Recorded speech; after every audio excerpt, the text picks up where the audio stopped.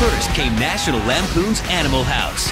Then National Lampoon's Van Wilder. Now National Lampoon presents a new comedy about what it's like to date I'm a virgin. a girl who wants to wait. No, wait, no.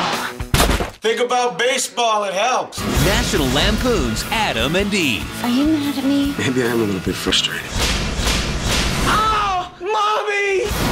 Own it on DVD now.